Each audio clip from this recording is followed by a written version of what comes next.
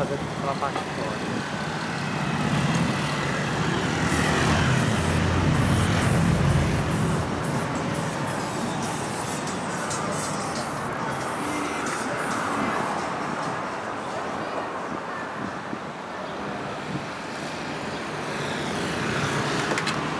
Epa, acabou muito pegado.